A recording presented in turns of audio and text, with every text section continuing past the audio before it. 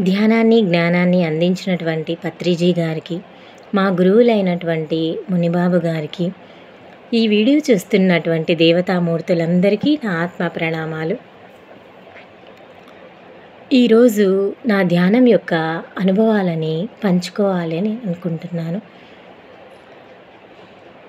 నేను gas trouble rheumatoid arthritis ladies problems mental depression లో BP ఆనెలు డస్ట్ ఎలర్జీ ఈ రకాల సమస్యలతో ఎప్పుడు బాధపడుతూ ఉండేదాన్ని. నెలకి ఆరు వేలు ఖర్చు అయ్యేది ఒక జబ్బు కోసం వెళ్ళి మెడిసిన్ తీసుకుంటే ఇంకొకటి ఎక్కువ అయ్యేవి ఇలా ఉన్నప్పుడు నేను ధ్యానం చేయడం జరిగింది. నాకు ధ్యానంలో చాలా రకాల ప్రాసెస్లు జరిగేవి. ప్రాసెస్ అంటే ఏంటి? ధ్యానంలో మనం ఎప్పుడైతే శ్వాస మీద ధ్యాస పెడతామో ఆ కాస్మిక్ ఎనర్జీ మన లోపలికి ప్రవహిస్తుంది. అప్పుడు మనకి ఎక్కడెక్కడ బ్లాక్స్ ఉన్నాయో అక్కడ పెయిన్ రావటం నవ్వలు రావటం ఉన్న దానికంటే పెయిన్ ఎక్కువ అవ్వటం జరుగుతుంది. అప్పుడు మనం ఏమనుకుంటామంటే మనకు తెలియదు కదా మెడిటేషన్ అంటే ఏంటి ప్రాసెస్ అంటే ఏంటి అని లేసేస్తూ ఉంటాం భయపడుతూ ఉంటాం. మళ్ళీ తిరిగి హాస్పిటల్కి వెళ్తూ ఉంటాం. ఆ బాధని భరిస్తూ ఉంటాం. అలా కాకుండా మెడిటేషన్లో ఇవన్నీ వస్తాయని తెలుసుకున్నట్లయితే మనము ఆ నలభై ఒక్క రోజులు చేస్తే ఎటువంటి డిసీజెస్ నుంచి అయినా బయటపడవచ్చు. అలాగే నేను మా గురువుగారి దగ్గర నాకు వచ్చేటటువంటి ప్రాసెస్ అన్నీ చెప్పడం జరిగింది. ఆయన నాకు ఎంత నొప్పి వచ్చినా ధ్యానంలో నుంచి బయటికి రాకమ్మా అని చెప్పేవారు. అలాగే నేను చేసేదాన్ని.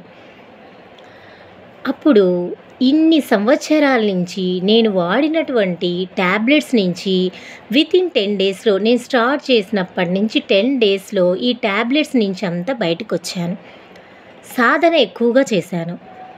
మూడు గంటలు ఆరు గంటలు పన్నెండు గంటలు ధ్యానం చేశాను. ఉదయం ఎప్పుడో ధ్యానంలోకి వెళ్తే ఏడు గంటలకి బయటికి వచ్చేదాన్ని ఆ విధంగా ధ్యాన సాధన చేసి నాకున్నటువంటి అనారోగ్య సమస్యల నుంచి పూర్తిగా బయటపడ్డాను.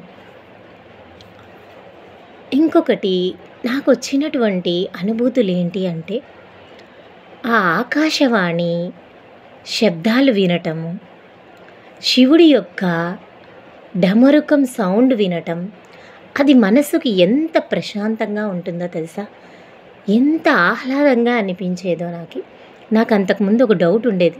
నాకు పూజలంటే ఎక్కువ ఇష్టం ఉండేది కాదు. పూజ చేస్తేనే భగవంతుడు మనతో మాట్లాడతాడా? మన కర్మలు పోతాయా? ఏం పూజ చేస్తేనేనా? అని ఇవన్నీ ఉండేటివి. కానీ కోటి పూజలు ఒక సూత్రంతో సమానం. కోటి సూత్రాలు ఒక జపంతో సమానం. కోటి జపాలు ఒక ధ్యానంతో సమానం.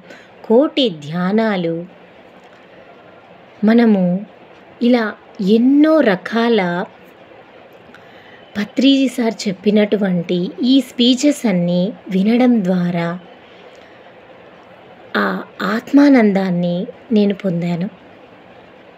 ఆ శ్రీకృష్ణ పరమాత్ముడు ఒక చిన్న పాపాయిగా వచ్చి నా ఒళ్ళో ఉండి ఎంతో మంచి అనుభూతి అది.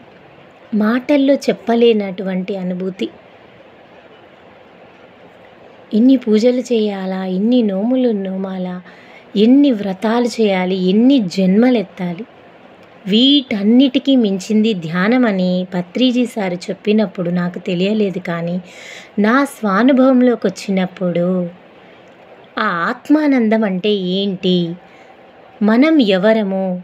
మనం ఎందుకు భూమి మీద జన్మ తీసుకున్నాము?